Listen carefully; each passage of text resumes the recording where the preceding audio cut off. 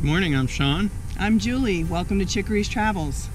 Today is Wednesday, the 6th of September, and we want to share with you how we are preparing for a hurricane in our RV.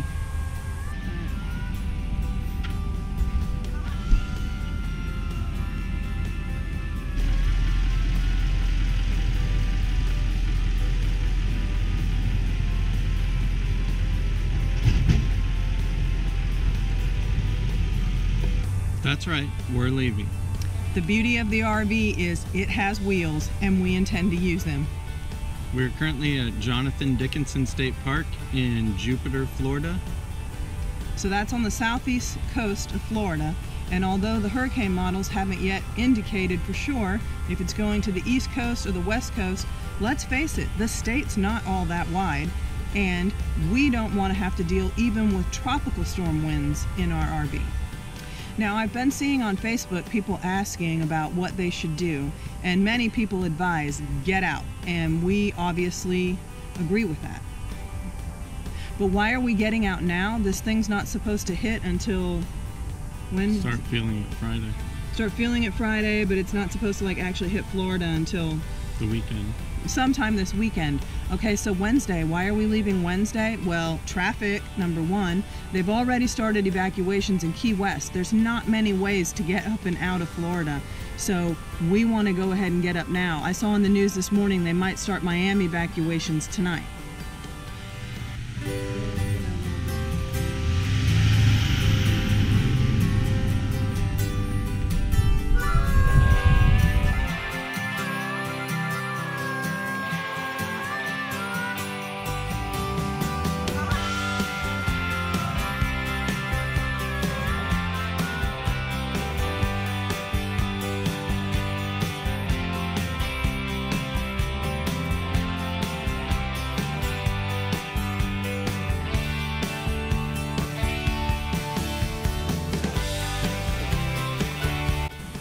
Well, we made it to Georgia.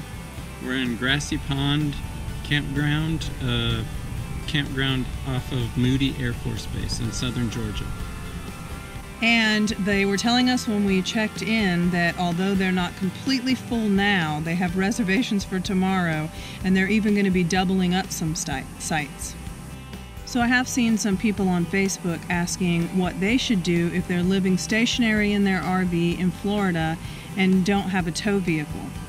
And I think that they should still evacuate because it is going to be a very dangerous storm and um, it doesn't take much wind to blow one of these things over and, and we have a pretty big one. I mean really no RV is probably safe in very high winds. And we were driving today um, up 75 and it's Wednesday and there was already a lot of traffic on the highway heading north.